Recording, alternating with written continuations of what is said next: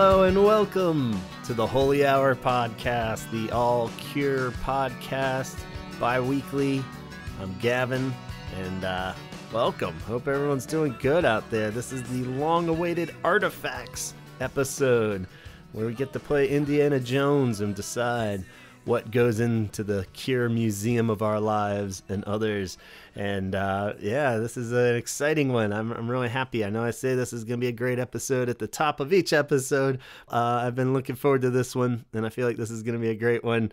We got lots of great contributions from from listeners and people on social media out there, um, different forms of emails and just one off statements on social media and audio clips.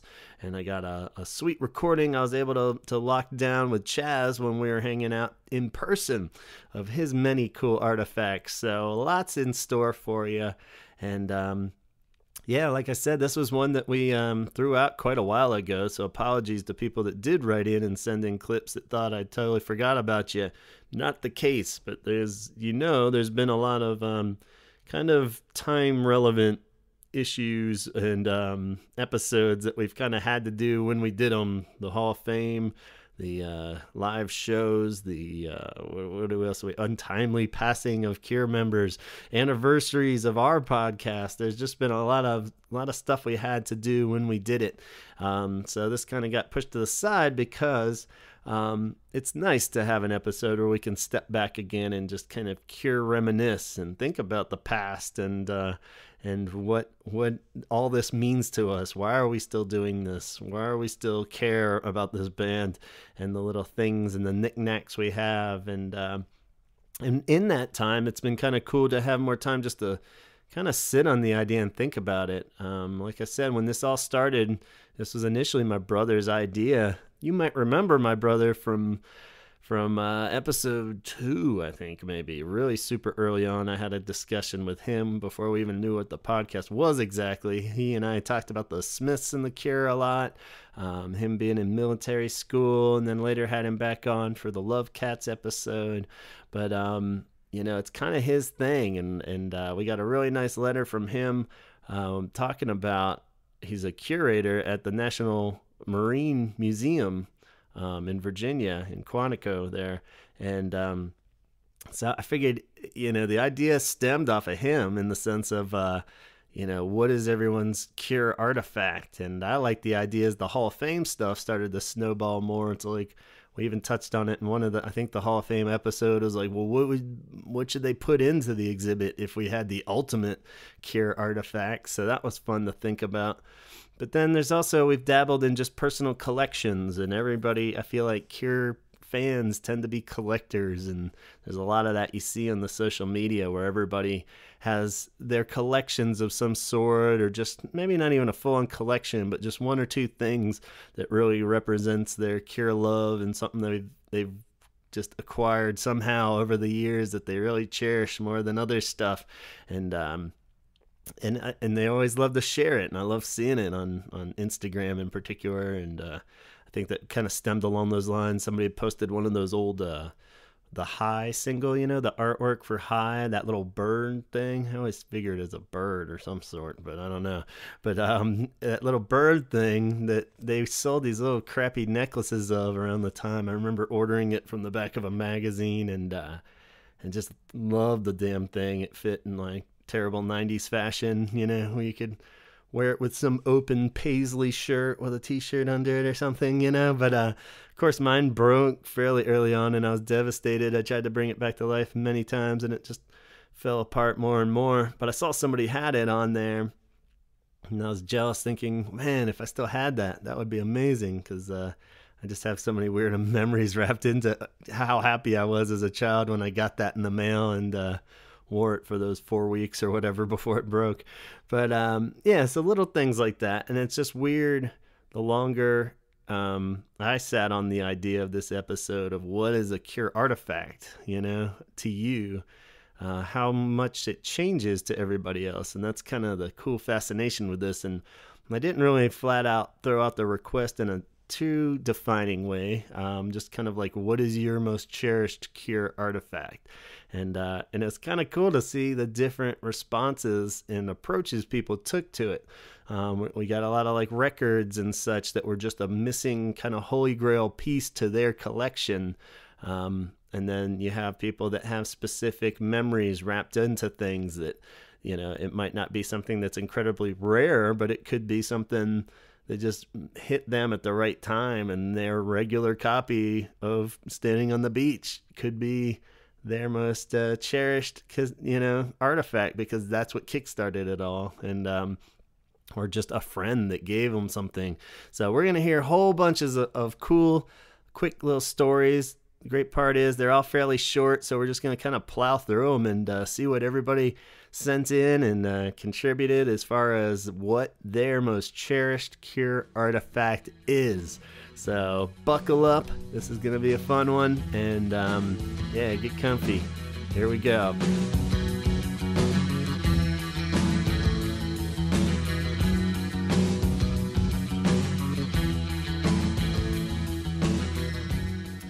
All right, so I figured the best way to start would be right at the top, once again with my brother, since it was his idea. And uh, he really, if you're going to ask somebody what makes a great artifact, the curator in a national museum seems like the guy to do it, right? So, um, you know, I think he, he, he has always done this, has a great knack for it, you know. Um, when even before he had this job, this is what he did with like our grandfather's military uniforms and stuff in the house. I mean, it really, when you think of somebody that has the dream job, he's the guy I always reference. It'd be like if this was my job, you know, recording conversations about cure and just babbling about the cure. Um, it really couldn't be more perfect for him. So I figured he would be a great place to start. I asked him, "What, what would you? How would you define an artifact that would go into this cure museum?" As a official curator, and a term that he holds very seriously and personally, and hates when it gets mis- misused. You know, when someone just curates their uh, cabinet of cereal boxes. You know, he's not a fan of that. So. Um, so he takes it very seriously, um, but he's a very laid back dude. And uh, he wrote us this nice letter that I'm going to read for you now that, that kind of sets his his approach to what an artifact is and what defines it. And uh, you know, as we've done this, and like I said on the top of this, uh, everyone's kind of idea is different. So this is what he uses as a criteria and kind of paints the picture for us. So he writes, "Hey Gavin." Deciding what makes something a meaningful artifact is one of the main things a curator does, but it sometimes it gets more complicated than you might think, particularly with cultural or memorabilia items. For example, what is the difference in value between a mint condition 1983 Army toy that has never been opened versus the same one that has been played with until it broke, but belonged to a kid that went on to become a decorated war hero? A toy that shaped a life, or a toy that is a collectible. In collecting artifacts, a curator and museum usually tend to skew two ways. First, there are those who simply collect. They are your Star Wars aficionados, the people who want the rarest items and then want one of each type ever created. They simply want to collect them all. There is nothing wrong with that approach, but from a museum perspective or an actual curator's role, I see a meaningful collection or object as something much more personal. At the Marine Corps Museum, we do not necessarily attempt to bring in lots of examples of things. As a curator, I'm more interested in the items that have a personal connection or a story behind them. These objects can be used to tell you a lot about a person and their life experiences. Perhaps it was a lucky Zippo lighter that the man carried through the war, and he rubbed it for good luck in a way that polished the emblem down after so many battles. Or it was simply a cheap souvenir handkerchief that a Marine bought overseas and mailed it home to his wife, but was later killed in the battle, and the family kept it and his heart wrenching letters for decades. These are the artifacts with deeper and meaningful provenance that make for a great museum piece and true keepsake. They bring emotion, they recall memories, and frankly, they meant enough sentimentality to hold on to for years.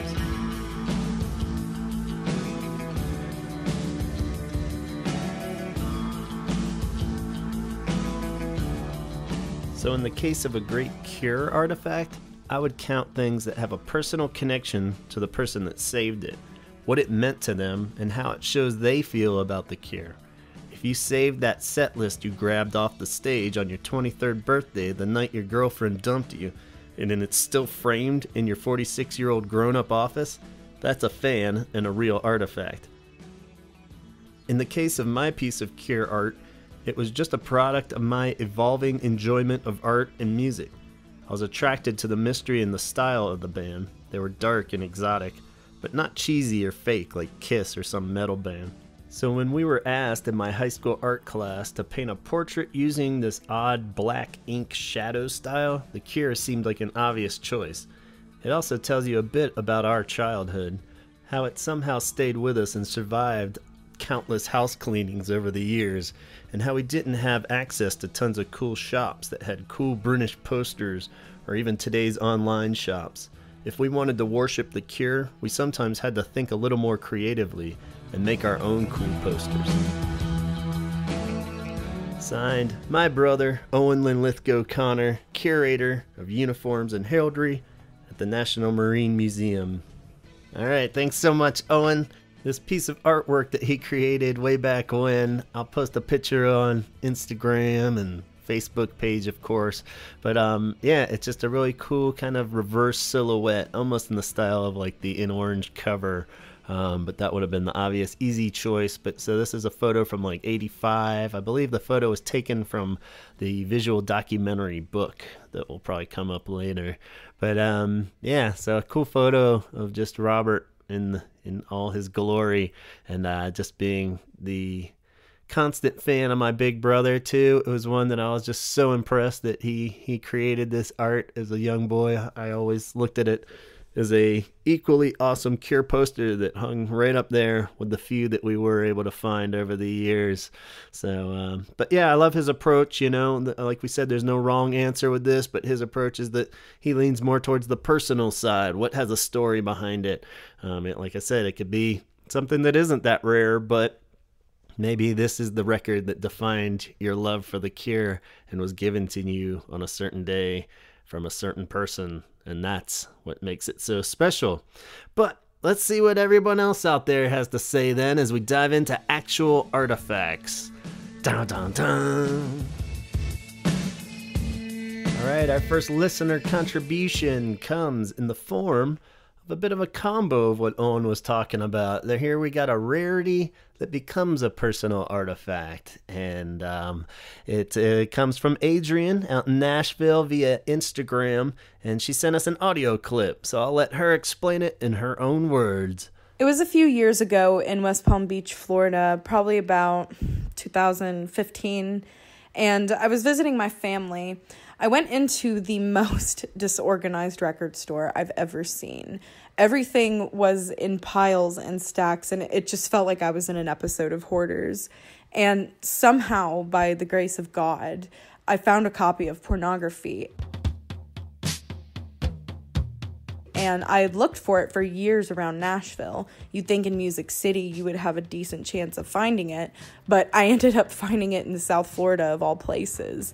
And when I got home and played it for the first time, I realized it was a misprint when I put on side A and the figurehead began to play. And in late 2017, Lawrence came to Nashville towards the end of his book tour, and I got him to autograph it for me. And that was a really great experience meeting him. He's a great guy, very down to earth. And it was just so cool to meet somebody that had worked on one of my favorite albums and he told me that he was glad that I liked pornography so much cuz that was one of his favorites that he worked on. And we had a really good talk and yeah that was just a great experience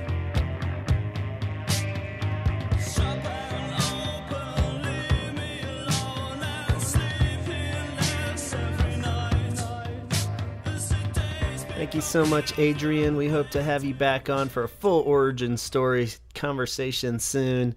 Um, really appreciate you listening and contributing. And uh, yeah, what a cool find. I didn't even know that was a misprint out there. So pretty cool to have that. And then to top it off with a Lol experience. So pretty neat. Definitely check out Adrian's Instagram account. It's Adrian M. West on the old Instagram. So go check out her site. It's a cool Instagram account. And our next one came from Instagram as well, from the uh, handle or username Highbird311. I believe the name is Duffy George. Never really know on Instagram, but um, uh, Highbird311 sent in a link for a creation that uh, had made, and it, it's pretty cool because we'll see some some of those too, things that people have created. I guess much like my brother's art, there, where um, their most cherished artifact is in fact a um, set of tarot cards that you can actually purchase too. It's um, at a website called thegamecrafter.com, and uh, if you punch in deep green wish tarot cards. You can see this uh, collection of tarot cards that they created. And uh, on the site it says, I've been a fan of The Cure for 30 years and wanted to make a deck of tarot cards as a tribute to my favorite band. So I made a major arcana deck and named it after my favorite song and album. I believe that reading tarot cards should be fun as it is in- insightful and the psychedelic images open your third eye while reflecting the music in corresponding cards and they look pretty rad if you look at them you got some live shots that are uh, got all kinds of cool like you said psychedelic images over it some kind of top imagery. Another one has a uh, kind of the poor old face from with day glow face from in between days on there so everything to check out we'll put a link to this on the facebook page at two of course but uh, you can get them for $12.99 and um, you know 22 cards in the deck and if you're into tarot cards and you're into the cure i'd say check it out because this looks like a pretty awesome collection to be proud of too and you can kind of get another idea of thumbing through what they look like. So pretty cool. I always love a good cure creation. And um, thanks so much for uh, tipping us off to this Highbird 311. Moving on to another Instagram contribution. This one came from Cupid Doll, Cupid uh, underscore doll on Instagram. And uh, it says, My Boys Don't Cry t shirt is my prized possession. I wore it to my first Cure gig on July 7th and uh, also my original record of Three Imaginary Boys. Thanks. All right, so again, attaching that personal story uh, to a artifact will always help make it a solid part of your life. Thank you so much, Cupid Doll. And next, we have another one from Instagram. This one comes from Nicole. And Nicole wrote in Hello, uh, my name's Nicole. I am a 19 year old Cure fan who lives in Denver, Colorado. My favorite Cure artifact is a t shirt that my mom gave to me when I was very young. She said she got it from a concert circa 1989 when she was 24 and kept it ever since. It is mine now, and out of all my Cure shirts, of which there are many, it is my absolute favorite. So much so that I got the spider on the backside of the shirt tattooed on my arm. So, yeah, putting that together, any Cure fans gonna know 1989 Lullaby. So it's an awesome Lullaby shirt from the era, and um, and the tattoo looks amazing. So you definitely have to check out the actual image of that um, on our Facebook page. But um, how sweet is that? A, a, a t-shirt, like I said, you know, the t-shirt might not technically mean anything, but that comes from your mom that saw him on the disintegration tour and passed it down to you. That's pretty pretty damn beautiful, if you ask me. So uh, again, really cool artifact and, uh, we'll see t-shirts and records popping up quite a bit on this list. So thanks so much nicole and uh, love the pictures. Thank you. All right here comes a cool one. This one is from isabel out in portugal. Isabel writes, So my favorite Cure artifact is actually the 1982 Lament Flexi disc from Flexi Pop magazine. See photo. I bought it on a street sale for 5 euros here in Portugal, only a few years back. I know it's nothing special, but there's a good reason for this.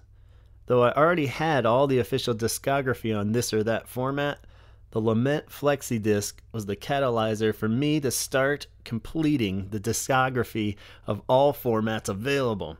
So I've been searching for and buying all official and some unofficial discography and videography I can find, used or new or cassette or vinyl.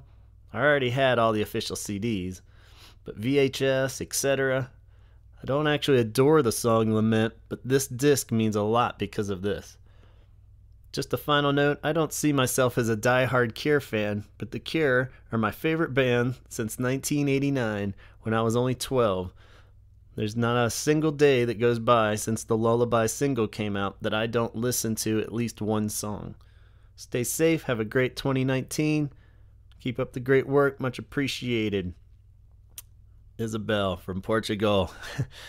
I'd say you count as a diehard fan. You're buying everything they ever put out on every format, and you've been a fan since the age of 12, and not a day goes by you don't listen to at least one Cure song. I'd say it's pretty diehard, so don't sell your fandom short, Isabel. Um, love, love the humble nature. Donald hates half their albums and he does a podcast about the cure with me. So uh, i think you count as a diehard fan like it or not.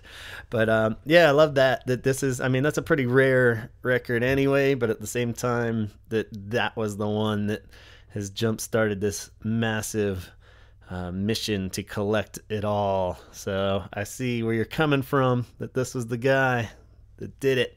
So very cool and um, Thanks for your contribution, Isabel. Hopefully, talk to you soon. All right, after that, another Instagram. This one's Widful, W I D D F U L. Widful on Instagram wrote, Mine is a fiction EMU exchange copy of pornography, only one of 30. Dang. Or um, a 1982 Mexican release of pornography, which is also super rare. So super rare copies of pornography. I don't even know what EMU means. EMI, maybe, is what they meant. But I don't know. An EMU, one of 30 exchange copies of pornography. That's getting into some serious re- record collecting technicalities there. But uh, I knew I should have had Chaz on hand for this one as my uh, Antiques Roadshow record collecting consultant. Um, that's beyond me. So, but good on you. And uh, we got another one from Instagram here. This one's from Springheeled underscore James 13. And he writes, My friend's dad gave me a prayer tour shirt with disintegration on the front. And uh, Robert's eyes are on the back and was recently reproduced by Urban Outfitters of all fucking places. But I wear that tattered old shirt ritually, so that's pretty rad. Another handed down from the era disintegration shirt, much like Nicole's. This is friend's dad. That's even cooler. So, um, yeah, if my uh, son doesn't cherish all my old Cure shirts, maybe I'll give them to one of his friends. so uh, it's pretty sweet that these shirts get passed down. I hope to someday pass down all my wonderful 17 seconds shirts and uh, hopefully they'll be appreciated 40 years from now, 30 years from now, whenever. But you'll have to get them from my dead body. I will never give them up until I'm gone. Anyway, moving on. Instagram, another one. This one's DJ HIC714. Sounds like a stormtrooper. Uh, but anyway, uh, this person writes Mine would be the 40th anniversary concert lanyards from the Hyde Park show. So that's pretty rad. Just a, a nice rare collectible from that show, which was memorable as hell, I bet. So uh, lots of good memories associated with that for you, I'm sure. And that lanyard would sum it all up. So pretty cool. Uh, Lloyd the Void writes, "Mine is a front row ticket stub from the Kiss Me tour." So yeah, those old ticket stubs from concerts, they're uh, pretty priceless too. And then uh, will always be a memory from those magical shows.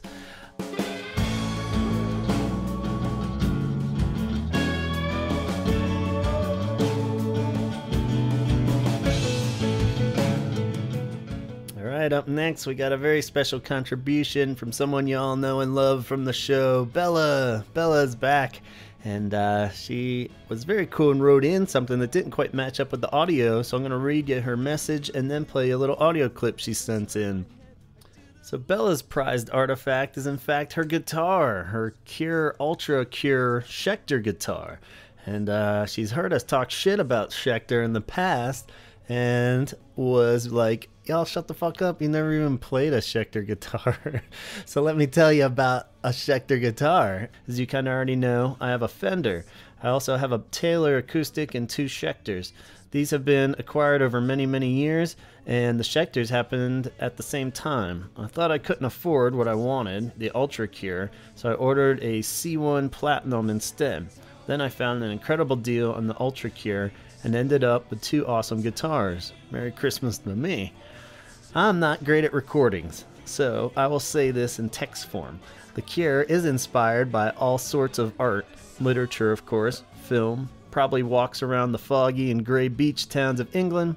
I knew I wanted a guitar, and when I didn't know how to get a sound I really liked without 78 pedals and a chorus effect, etc., just an incredible sound ready to go, the Ultra Cure was the answer for me. Yes, I look quite top heavy trying to wield this thing, but damn, nothing makes me want to practice and learn more about music than having a guitar that I feel can take over the world simply by having an incredible tone and being extremely versatile. And luckily, Bella changed her mind because she's great at recordings and uh, sent in a quick little audio clip. So here's a little bit more on her Ultra Cure. Hello, Holy Hour podcast. This is Bella. Answering the question about what is your favorite cure artifact. So, mine is going to cause a bit of dissension, possibly. I have stuff that I've gotten from Cure concerts, and I have t shirts, and I have my Disintegration album, which is probably one of my favorite artifacts. But I'd have to say that the one that I use the most often, and therefore comes to mind when you ask that question is my Schecter Ultra Cure guitar. I know you guys aren't super big fans of Schecter. You probably prefer those Jazzmaster Fenders. But the Schecter for me allows me to explore a sound that I obviously really like, right? So I like the sound of the Cure for 40 years, over the span of 40 years. So, having a Schecter allows me to play anything I want. That guitar sounds amazing. It's a mahogany bodied, gigantic beast of a guitar. And it allows me to explore sound, which I can't say a t shirt, though I love them, would allow me to do. So, that is my opinion. Feel free to argue amongst yourselves. But I can't think of anything better than something that allows you to explore creating art. Hope you guys are having fun. Talk to you later. All right, thanks so much, Bill. As always, a great point and great to hear your perspective because you're right. An artifact that helps you create art is about as awesome as you get, really. So, um, the fact that it's cure related, and you know, we are being too hard on Schecter for sure, considering we never even officially played them, you know. So, uh, I- I'm definitely wanting the track one down, give it a whirl. If it's good enough for the cure, it's got to sound awesome. So, I'm with you and I will gladly eat my foot now as we move on. Thanks so much, Bella. And you know, it's only fitting to follow up Bella with her buddy Kelly. We got an audio clip from Kelly too, so let's hear what Kelly has to say. All right, good evening. My name's Kelly Kerr, and I'm going to talk to you about one of my favorite cure effects. Cure effects, cure artifacts. I'm a bit of a collector, kind of a guilty collector and I have, you know, I have some interesting pieces. Cure things are kind of hard to come by. I mean, they're not. I mean, I wouldn't say they're hard. I guess I'm referring to vinyl. Early Cure vinyl is very hard to come by, because uh, I guess with the vinyl boom, this stuff is a little harder to find, or people want stupid amounts of money for it. I'm going to talk to you about a little piece of vinyl that I got on eBay. I think this was back in 2001. I was sitting in my dorm room, and uh, one of the dangers of being 18 years old, 19 years old, in having a Visa debit card for the first time is eBay. And I was buying stuff on eBay like nuts my first year of college. This this was like a candy store. This was this eBay was like this haven. You know, I could just get on there and find all kinds of just rare stuff that you had only just read about. You know, things that seemed like it was just a myth. It was on eBay. There was a time when eBay was, you know, had these like golden glory years, and and, and 2001 was was one of those years, and it was sometime around Christmas, I think. Um, uh, you know, a friend or somebody, I don't really remember who clued me in, but they said, "Hey, I saw this record on eBay, this this Cure record. I'll, you know, just look it up. It's for a song that I've never heard of." And I said, "Okay, all right, well, so do a search later on that day, and I find this uh, seven-inch forty-five for a song called uh, "See the Children Play." and uh, I know I had never heard this song before, um, and this was prior to me really finding uh, or you know throwing the money down, I guess, for for uh, certain rarities of the Cure. There was a a really great vinyl that kind of collected all the early uh, Hansa demos and. Uh, the, the pre Three Imaginary Boys recordings, uh, a lot of the stuff that Porl had played on. There was a it was a really great vinyl that kind of collected all that stuff, um, and I have a copy of it. Um, but uh, that was before I even acquired that. I, I, see this record, and all it says on it is is, uh, the Cure "See the Children Play" 1978, seven inch, 45 RPM. It's all it says. There's really no uh, description, and I, I, bought it on eBay. This is before, also before they started doing the buy it now option, so you still had to win it. I think I paid like you know eighteen dollars for it, which at the time, you know, to me was a lot of money. You know, eighteen dollars for a record was just, you know, I was I was breaking the bank. You know, uh, to my surprise, it, it was a bootleg. Uh, it was a white label promo. I have never actually seen it on any kind of discography until Discogs kind of became this this big thing um, over the last few years. Um, other than that, I'd never actually seen another another copy of this of this record. It's funny because at the time, that particular semester at school, I did not have a turntable. And so, as you can imagine, it was kind of funny that I was buying records and I was incapable of listening to them because I hadn't gotten a new turntable. My brother and I shared one when we were in high school, and he took it with him to college, and I was left with no turntable. Um, and so I had yet to acquire a new one. So I get this, get this record. I can't listen to it. It kind of gets filed into the box of records of you know whenever I when I get a new turntable, I'll listen to it. I was home in Memphis that that that Christmas, and I and I bought a turntable while I was in Memphis, and I brought it back to my dorm room and I immediately started listening to all this stuff that I had acquired for an entire semester of school. And so I put on this record and I hear the song. It's called See the Children Play, and it sounds like early punk rock cure. Like, you know, it's it sounds like that era when they were still doing like that three piece power trio stuff. I have to say it was a pretty cool song, you know. I could see why it didn't make the cut.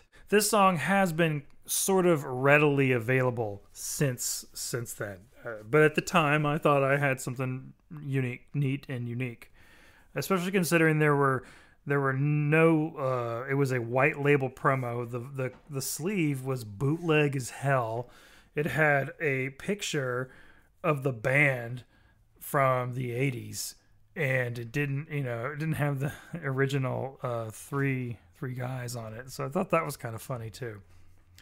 So, to me, the most unique aspect of this record and why I've held on to it for so many years and uh, why I've continued to sort of uh, occasionally pull it out and show it to people is the B side on it says at night. And we all know the song at night is on 17 seconds. Well, this particular version of At Night is a live version, but it is not the song At Night. It is, in fact, the song "A Forest." And the date on uh, on this particular version of "A Forest" is dated December twelfth, nineteen seventy nine, in Amsterdam. And uh, a little digging tells me that it was quite possibly the first time any of the songs uh, that would later appear on 17 Seconds were played live. And just so happens somebody put this version of a forest on there. And even at the beginning of the song, Robert says this is called At Night. And uh, the real this really choppy synthesizer comes in. I mean, it's a real awkward performance of the song because it's really fucking just punk rock. It's you know they're still in that mode and they hadn't quite uh slowed down, I guess, and figured out you know that the song had to sort of breathe and have some space to it and all this stuff. Um, but you can imagine in 1979, you know, when when they were gearing up to make another record and they were working on new songs, they probably, you know, and then and then to, to decide to go play these songs live and having to incorporate them within the current their current set, uh, they were probably very aggressive coming out of the gate but this song, uh, this version of a forest is very, very unique because also because the lyrics are extremely different, and uh, so you can just tell it's almost like they learned they learned some new songs, they learned the parts, and they went out and played played a couple shows afterwards, which I guess is very typical with with a band. Anywho, that's my Cure artifact. It's a 7 inch 45 of two kind of rare unreleased songs that I just kind of took a chance on from eBay. All right, thanks so much, Kelly. Great to hear from you. Kelly was super nice enough to share with us that version and a clip of A Forest known as At Night at the time. And um, we'll play that at the end of this episode, so stay tuned for that. And when you can hear what this crazy version of a forest sounds like and uh, it's very cool. You don't want to miss it. But we have a couple more things we want to cover first before we go into any full songs. But real quick, we have two more write-ins. The first coming from Morgan, or is it, you can find her on Instagram as some dot more again. And Morgan writes, uh, "The In Orange concert has been really special to my husband and me. I was able to track down a VHS copy for our first anniversary, and it's definitely one of our most cherished artifacts." And here's a picture. And it's a picture of In Orange and Picture Show, which they say is also another personal favorite. Take care, Morgan. And then Morgan also writes another honorable mention, actually, um, is this love song lyrics painting that I did for him shortly after our wedding. And it's a really nice painting um, that has the lyrics for Love Song all written out there. She says, on top of that, there's a kindergarten level cross stitch monstrosity I made while trying to quit smoking. And uh, we'll put a picture of that as well on our Facebook page. But it looks really cool. It's the hand from Wish um, with the eyes on the fingers there and the C from the Cure Wish font on the hand there. And looks really cool. So, um, two creation pieces that are very cool. And no one's going to argue the uh, personal attachment level to the VHS of In Orange that I'm sure we all have dear to our hearts and hope that our VHS players VCRs, I think we call them right still, don't destroy our copies of In Orange. So it's always a gamble every time you play anything in a VCR, don't you think? Um, all right, moving on. Thank you, Morgan. To our last write in is from Sylvia. And Sylvia writes Choosing which is my most cherished Cure artifact has been quite hard. At first, I thought about the Cure mixtape that a friend of my dad gave to him, which is probably the main reason why the Cure seemed so familiar to me on first listen eight years ago. Then I thought about the books I have about them, like Obscure or Visual Documentary, etc. Or I have sketchbooks filled with all kinds of Cure stuff. But then I came to a conclusion my most cherished Cure artifact is my copy of Wish. Why, you might ask? It's because I'm attached to the memory of how I found it. It was August in my hometown, and they usually organize a sort of vinyl festival, more like an open air record market. I was still new to The Cure's discography, but the first album that made me fall in love with their music was actually Wish. It's impossible to find on vinyl and very expensive, especially for a 16 year old girl.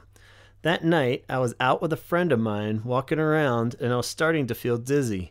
At the time, I didn't know I had a fever. So my friend let me lean on the nearest street lamp, and there I saw a record seller showing somebody Kiss Me, Kiss Me, Kiss Me. Finally, someone who sells Cure records, I thought. And so I got a closer look to his boxes full of records, and I started hunting. There were so many rare records, my mind still goes back to that night thinking, if only I had more money.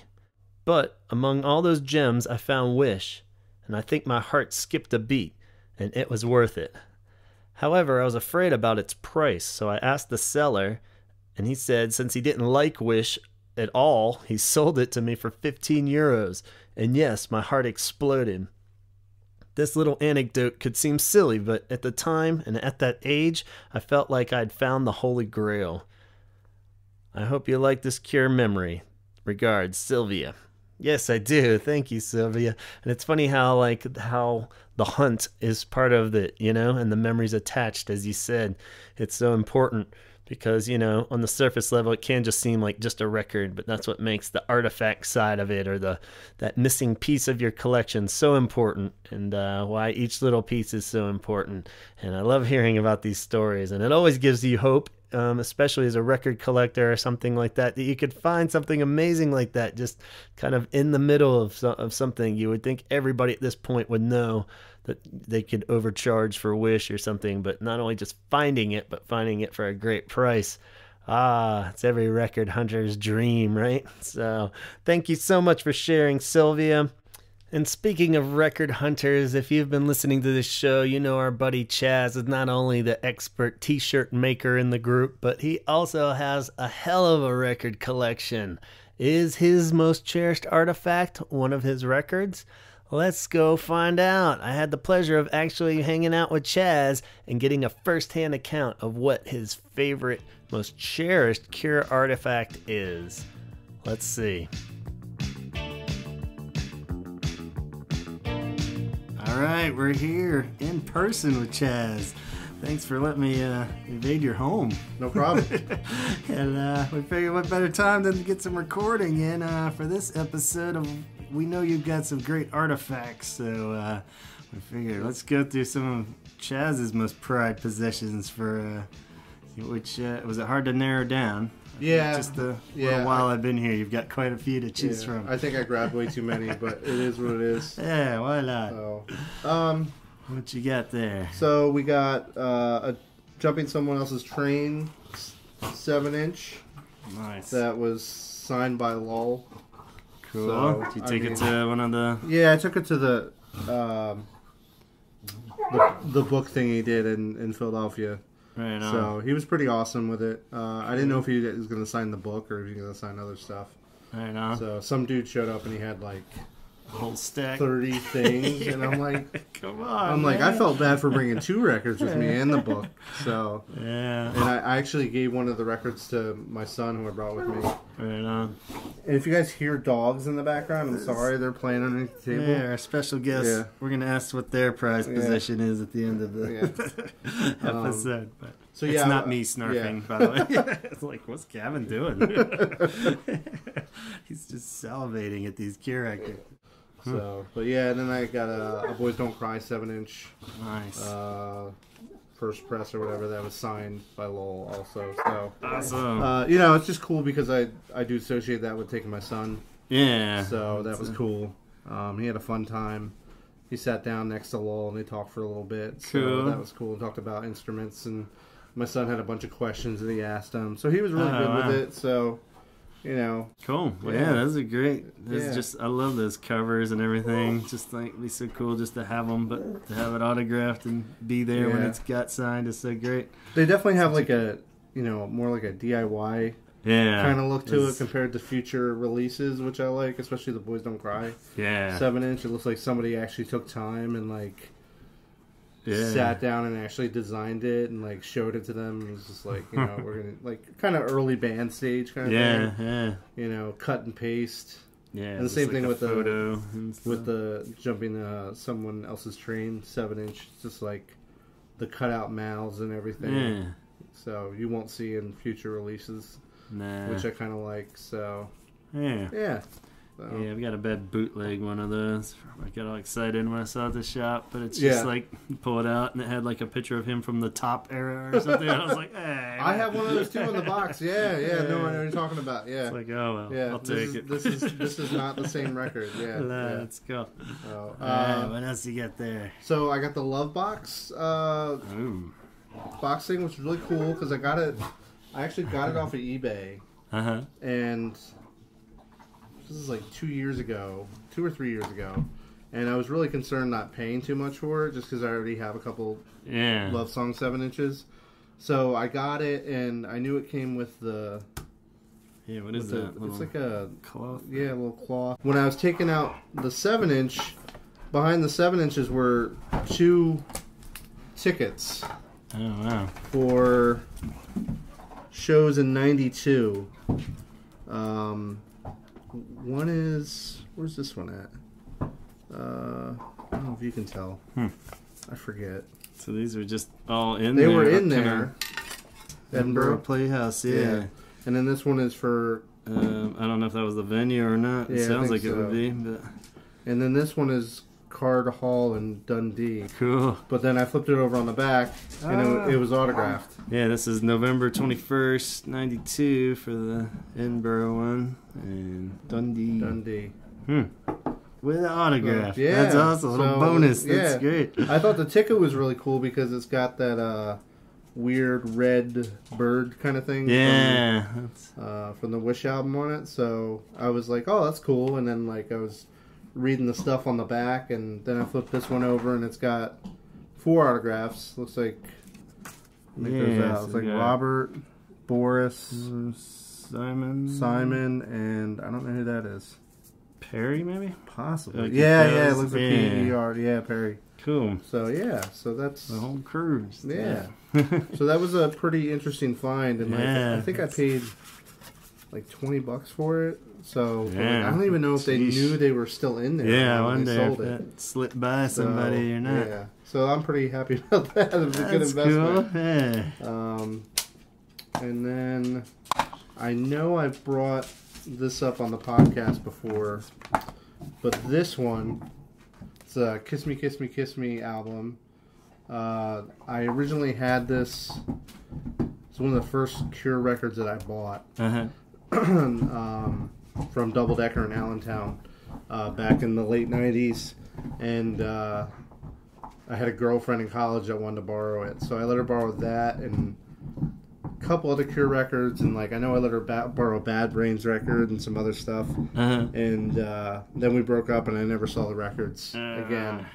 So, and this is the one that I lost. So, when my wife and I started first dating, uh, you know, we talked about music and everything, and it came, we talked about exes and how shitty they were, and I told her what happened, and then, uh, like the next day, she went to Vintage Vinyl in St. Louis, and she saw this in the dollar bin Oh man. and she bought it for me and like we, we met like she came up to chicago to see me and like we she came in my shitty studio apartment and she handed it to me and i was like like i was so overjoyed still got the hype sticker on it and Yeah, it was pretty awesome. much perfect condition Yeah, except that's for some great. Wear around the corners that you would never see in another dollar bin like especially now that's so awesome. yeah so Right. it's definitely a prized possession of mine just because of that story so Yeah. yeah. So, Cool. Um, Hmm. and then it's another. It's like, all right, I guess we're getting married now. Yeah, absolutely. Yeah. Um, awesome. all right, and then the last All two. I have here. This one's fallen out of the frame, so. Wow. But uh, these are. First one is a gold uh, RIAA award for uh, "Kiss Me, Kiss Me, Kiss Me" Hey, with the record and cassette. Nice. Uh, and that certifies that 500,000 copies were sold in the United States. awesome. Um, and it was awarded to John Cook at Oh, wow. KKBQ. His name on there, huh? Yeah, so um, John Cook. He passed away. Oh. I did. I I did some research on it Already 'cause I was shame yeah, him. that was like because when they uh they originally this is also from Double Decker they got in um uh, a large quantity of this with like other bands like they had a they had a bunch of Depeche Mode um say like Tom Petty huh. it was kind of like all over the place, but a lot of it was focused on like 80, 80s music, 90s, a little early, little early 90s. There, it was there because they had just had stacks of them, Yeah. and uh, they were all for the same guy. So I was asking the guy who owns the store, like, how to get it. He's like, some guy just came through with a bunch of them, and Yeah, I bought them all, and they're I'm selling them. So Yeah, my grandpa had a whole bunch of those. The guy that lived in New Jersey. Actually, he worked for MCA through the '80s and Okay, stuff, yeah, and yeah. did like promotion. He was the guy that would go to like the tape and record Yeah. stores and be like, "Hey, you got to get more units of this." And, Yeah. and uh, so he'd have them all over his house, like Lionel Richie ones Okay, and okay, yeah, stuff yeah, like that. yeah. So it makes sense now. Yeah. I have like all these ones of like. Bands I don't really know what to Yeah, do with, yeah. like Elton John and stuff. I'm like, oh, cool, but uh, so Yeah. yeah, I, I always was wondering. It's like, yeah, I've seen fake ones on eBay and stuff like that Yeah. where they're, where they're just like gold quote unquote gold plated records, Right and on. like they're cool for you know to put up on the wall or whatever. Yeah. But they're not. I mean, they don't have the official seal or whatever. So yeah, it's yeah, awesome. I think uh, it, I think like it's a- pretty cool. But yeah, he I think he was in Austin, Texas, if I remember right, okay. and he passed away in I think like 2013 or something like that, and. I probably probably had an estate sale, Yeah, and somebody Yeah, just came through and bought them all, and, and- then came north and sold them all to Double Decker. So Yeah, Yeah, this one's kinda falling cool. apart Keep the yeah. legacy going there, and Yeah. one day I'll It's pay like- to have it reframed. yeah, no, But, that's awesome. Yeah, not anytime soon. But Alright. and then going off of that is a platinum copy of Disintegration going platinum now. with a million copies sold, uh, and it, it comes with the record, CD, and uh, cassette. Yeah, which I've wondered because you don't know what the CD is, and the cassette doesn't have any tape in it, so obviously that's that's fake. And the Yeah, CD, it's got the grooves on it right here, so you can tell that it doesn't go out all the way. Yeah, So it's not. it's- It's probably like an instructional. It says, video. "Why would you Yeah. try to play this? Shame yes. on you." So, it's but like a re- recording. I'm, I'm wondering about the record if it's an actual disintegration record or they just plop the, the label on it. But yeah, you could compare the Yeah. grooves, maybe. yeah, I that. thought about doing that, but I'm just like, eh. yeah, it's a- Yeah, but it's got the cool Some things, some doors are best not Yeah, open, man. Um, that looks awesome. Man. Yeah, it really looks just the a cool design. the and seal changed from that one to this one, so it's a little different. awesome, yeah. This one's kind of like, kind of a classic one, and this one's kind of like a '90s. Yeah, it looks like a upper deck yeah, baseball yeah, card. exactly, exactly, yeah. Um, but yeah, then it's got the it's got the CD or the album cover artwork there, which is really cool. Same thing with the Kiss Me one Yeah. right there, but it doesn't. It's not the actual. This is this is the actual artwork. That one's like, like, blown up. Yeah. So I like this one a little bit more, and plus it's the platinum copy. so, Yeah. um, but yeah, there there's a few of these floating around. Is it? Does it have his name on it? Yeah, Is John same Cook. Yeah. Yeah. Uh, Yeah. Different radio station now. Yeah. Nine thirty. Hmm. And then unless it's the Mm. I don't know the yeah. Yeah. So Pretty they're giving out to like you said people that do promotion work for the album and uh, I know I've been in the the rock the major rock station in Philadelphia MMR and when you go in there they have them few more in there. plastered all over the wall. So I assume that a lot of radio stations get them, depending on probably how many times you play them and whatnot. So, Right. so yeah, so this is kind of cool. Pretty cool. Yeah. Those are some awesome treasures for sure. Yeah. And uh yeah, and like we talked about at the top of this episode, it's crazy the different perspectives of like just collectibles and the ones that can be something that everybody has, but if Yeah. it has a personal attachment to it, then that takes it in a whole different angle, and so it's pretty cool. You got a little of everything here, so that sums up exactly Yeah. what we have been talking about. So. I mean, I could literally go through my entire record collection with you tonight. yeah, we were joking, saying we should do it, just list every record. Yeah. but but uh, we'll save that for uh, yeah. episode 335 when we're really hurting. Yeah. But uh, yeah, pretty impressive. Do you mind if we take pictures of these Yeah, and put no, them on the. Facebook? And Yeah, I cool. I tried to you know I tried to break it down between stuff I've found because I think that's really cool, like Yeah. part of the hunt, and then uh, just something per- personal, and then just something just really kind of obscure Yeah. that people aren't going to have, which you know, I, and like I. I make T-shirts, but I'm not a T-shirt guy, so Yeah, I have a few T-shirts upstairs, like older shirts, but nothing that a huge. I don't really have an attachment to them. Yeah. So I think this stuff is more of because another thing with the with the with the awards, uh, I had to go to work that night Uh-huh. and I couldn't go up to get them, so I was freaking out because he wasn't going to hold them for anybody. Right. So I'm just like, I, I'm never going to get them. You know, Th- these are two things that I really want, and I'm never going to see them.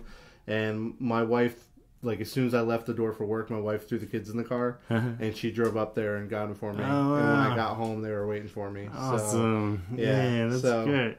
she feeds into this whole. Uh, yeah, Obsession. it's Thanks for sharing, man. No problem. Many more adventure stories to come. Thanks for sharing your artifacts. no problem. All right, so cool getting to hang out with Chaz. Thanks so much for your time, bud. And um, thank you guys so much for contributing so much to this episode, even if it was just a quick write in. Um, always means a lot to get as many people involved in these as possible. And uh, I really enjoyed piecing this one together. I hope it made sense. Um, special thanks to everyone that contributed Sylvia, Duffy, Adrian, Cupid Doll, Isabel, Widful, is Spring Heeled Jim, uh, DJ H1C714, Lloyd the Void, Morgan, and of course Bella and Kelly. It was great hearing your voices again, and um, especially my big brother Owen for coming up with this idea and uh, setting us straight on artifacts in a professional manner. So thank you so much, Owen. And uh, for me, I don't know what's my special artifact. It's hard to say. For as much as I love the Cure and um, love collecting things, I don't really have a lot of like Cure collecting stuff other than the essential records and a lot of bootlegs and a lot of singles. But I don't have a little. I don't have everything, and I don't try to have everything because I feel like there's just so much out there. It's really weird. I don't even know what my my my uh, prized possession would be after doing all this, but I guess I got to give some kind of answer. So I guess I would have to go with. Um, I really cherish that dumb visual documentary book just because of the way I had it at such a young age. It was the only glimpse. I got that before I'd seen any actual videos. So I had this book full of pictures that I just carried around like my Bible at that point, and I got the the whole lump sum of their history. I got so many pictures of this band. I was so fascinated with their images that I just basically slept with that book under my pillow every night for years it felt like. And um, so it was really something special but i realized it is just a book. On top of that um, just a t-shirt you know? But it isn't just a t-shirt. I got this t-shirt that i talk about all the time i think. Um, i got it in the initial trade with my buddy jeff butler when he was getting rid of his cure stuff. He traded me or sold it to me rather. Um, he sold me I think it was pornography and 17 seconds. No, I think I got 17 seconds later. But it was like a couple of the early tapes and um and a Kiss Me T-shirt, the white Kiss Me T-shirt with the lip on it and the eye on the back. I have it to this day. It's one of my only original Cure T-shirts that I didn't somehow lose or ruin over the years, and it's worn so thin that it's disgusting to wear without something under it. Um, it just looks completely different than if you see a new one online or something. I love it, but um, it just reminds me of that early acquisition and uh, my early love for the Cure. That was the moment that once I got those artifacts from Jeff Butler, I knew that I, it was game on. I was a diehard fan at that moment on, and I uh, still have that damn T-shirt and wear it occasionally for special occasions. It's not the most flattering. and It looks kind of gross, but it's uh, my first Cure T-shirt ever and uh, very personal. But you know what? To even leave on a more cheesy note, my most cherished Cure artifact is this this goofy old podcast. I think having over a hundred episodes categorized and documented, hopefully forever on the internet, of uh, just me and all these wonderful people and wonderful friends sharing our Cure memories and putting all this Cure nonsense together. I love it, and um, you know I'm super proud of it, even though it's pretty slapstick at times. Um, you know, I think that this this thing is my most cherished Cure artifact, and I couldn't do it without you guys. So. Uh, night.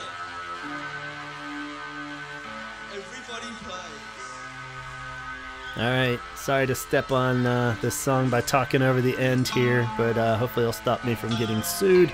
And um, you can do a little hunting of your own. Go out and find this song yourself. It's out there, maybe. I don't know. Okay, so um, be sure to subscribe on iTunes. iTunes is where you'll never miss an episode of the Holy Hour podcast. And now completely on YouTube too. All episodes will be on YouTube, hopefully forever. Holy Hour podcast, Instagram, the Holy Hour podcast, and uh, Facebook page is where you'll see, especially for episodes like this, all kinds of cool photos of stuff we're talking about and extra links. So go over to the Facebook page, like the page too. Don't just look at the stuff, you know, that way you'll know when, when stuff like this pops up for every episode. So go on over there, like that page, and um, drop me any line you want at gavinconner at gmail.com. And uh, keep your ears peeled to anything else. If you dig Spotify or Stitcher or any of that business or Google something, I think we're on that. So any of those out there, you can uh, follow the podcast on those outlets as well. Until next time, 1979 version of a forest from Kelly's Rare 45. Take it easy, guys. Talk hard.